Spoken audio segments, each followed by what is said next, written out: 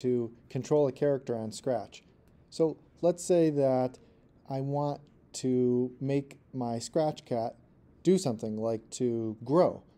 And I don't want to use a code block to do that, but I want to create a button that when I click the button, it will actually make the cat grow. So first of all, I'm going to make a button by creating a character. So I'm going to go to choose a sprite. I'm going to go to paint. I'll choose a color.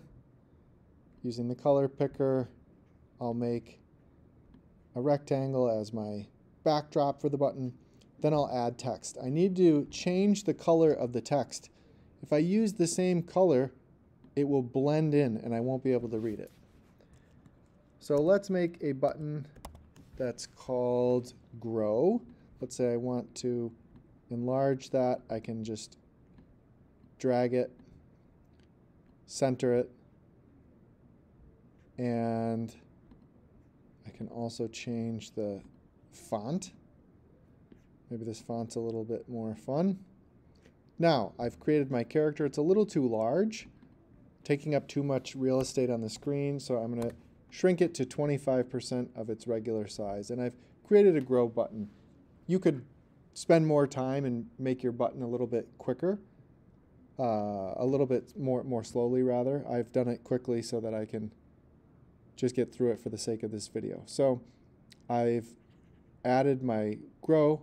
Now I go to events and there's a block that's called when this sprite clicked. So this sprite, this character, means grow. So when I click on this character with my mouse, it's going to do something.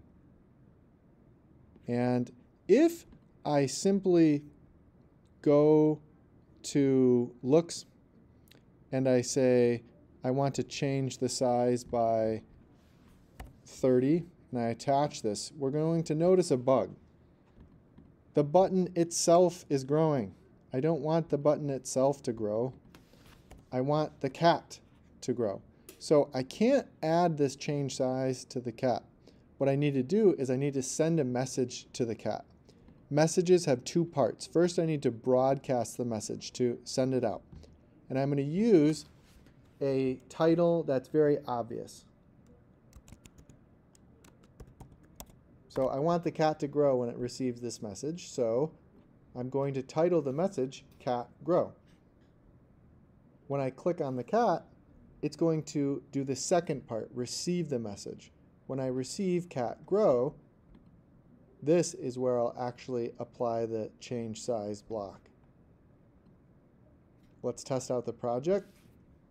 When I click grow, the cat grows.